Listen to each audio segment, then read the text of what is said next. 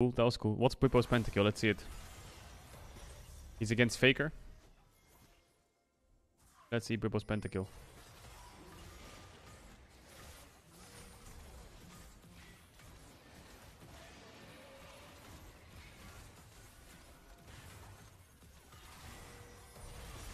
Okay. Faker one shot. Pulls out, one shots Rakan. Gets Nash. Flashes Camille E. One shots this guy too. One shots that guy. What the fuck? He played that really well.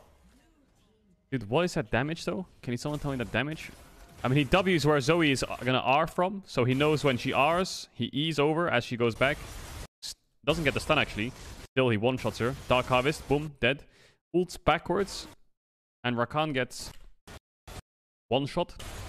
Then he gets Nash.